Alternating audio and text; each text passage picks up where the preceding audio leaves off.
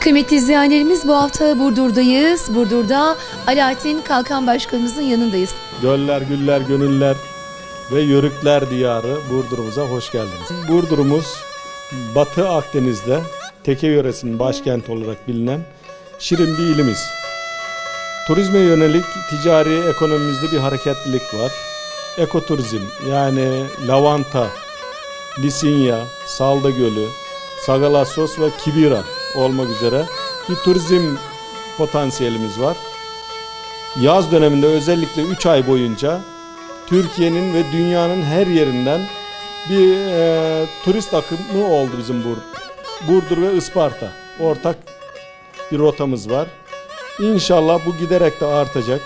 Lavantanın üzerine bir ekoturizm oluştu. Lisinya'nın üzerine bir ekoturizm oluştu.